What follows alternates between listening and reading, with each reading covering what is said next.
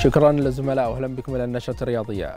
واصل حامل لقب فريق دار كليب سلسلة انتصاراته بالدور التمهيدي لدوري عيسى بن راشد للكرة الطائرة، وذلك بعدما تمكن من تجاوز عقبة فريق المحرق بثلاثة أشواط دون مقابل في اللقاء الذي جمع بين الفريقين على صالة اتحاد اللعبة بمجمع صالات عيسى بن راشد الرياضية بالرفاع.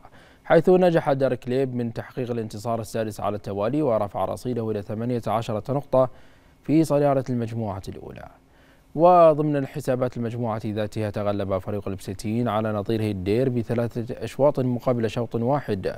وبهذا الفوز نجح البسيتين في تحقيق انتصاره الثالث في المقابل تلقى فريق الدير هزيمته الخامسة مقابل انتصار وحيد.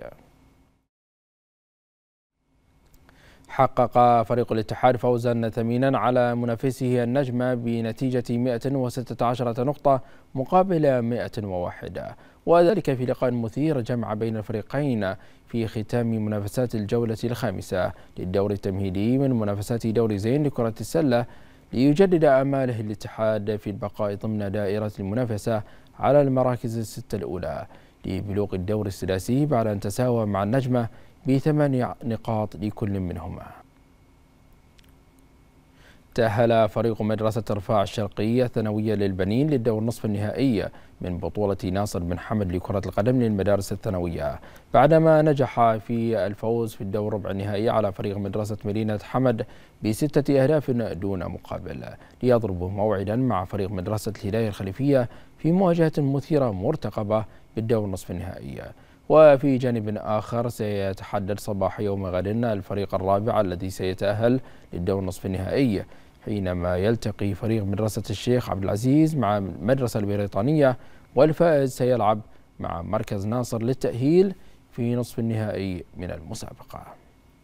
شرفنا اليوم في حضورنا إلى دورة سمو الشيخ ناصر للمدارس الثانوية. شفنا التطور اللي حاصل في البطولة. ما شاء الله تطور ملحوظ وقاعدين نشوف مواهب قاعدة تطلع من هاي البطولة.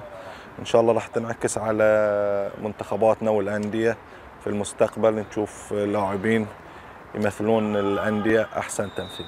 اليوم ولله الحمد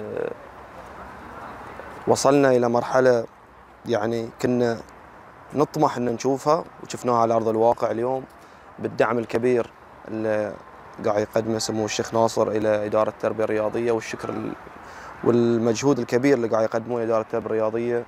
نشوف البطولة اليوم وصلت إلى مراحل متقدمة سواء من الجانب الإعلامي ومن الجانب الفني. مواهب كثيرة اليوم أخرجتها هذه البطولة.